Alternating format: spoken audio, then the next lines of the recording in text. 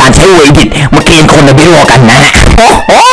โหเซิร์ฟไข่แล้วเซิร์ฟไข่วะให้สัตว์เอ้ยน่าจะเป็นคนเจ้าของเซิร์ฟน่าจะหล่อหน้าดูแล้วนะ